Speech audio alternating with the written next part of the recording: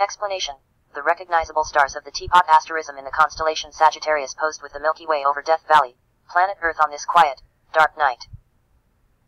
The surreal scene was appropriately captured from Tea Kettle Junction, marked by the wooden sign adorned with terrestrial teapots and kettles on the rugged road to Racetrack Playa. Shining against the luminous starlight of the central Milky Way is bright planet Saturn, just above the star at the celestial teapot's peak.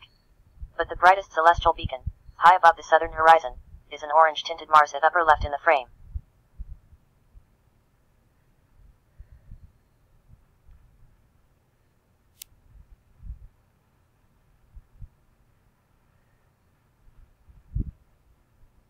This is the Milky Way right here, uh, where uh, Sagittarius is, and the planets are all lining up. Uh, I think it's in the south.